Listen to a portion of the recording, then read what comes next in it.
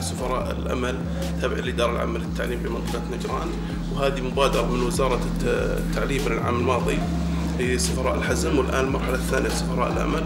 والأخوة في إدارة تعليم الرياض مشكورين نسقوا برنامج كامل خلال هذا الأسبوع. كان من ضمن تنسيق البرنامج هو زيارة نادي الهلال. تشرفنا بلقاء نائب الرئيس والمنسق الإعلامي في النادي واللاعبين ولهم الشكر الجزيل على استقبالهم لأبناء الشهداء وأبناء المرابطين على الحدود. كيف تشوف زيارة أبناء الشهداء؟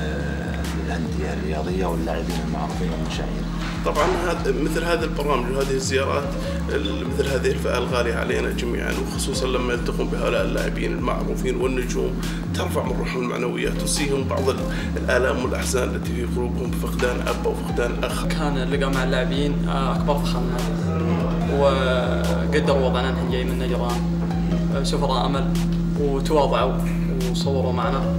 صراحة ما توقعنا استقبال الشباب واللعيبة لا من الإدارة ولا من اللعيبة كلهم بيض الرجل ما قصروا لا في ترحيب ولا في استقبال. أه من شفت من اللاعبين من قبلت من اللاعبين؟ كلهم. كلهم ما قصروا.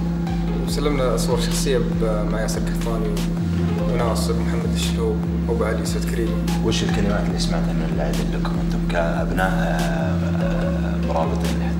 والله ما قصروا. لا في دعم ولا في ترحيب ولا في ولا في شيء كل شيء ما قصروا. يعطيكم. الله يعافيك.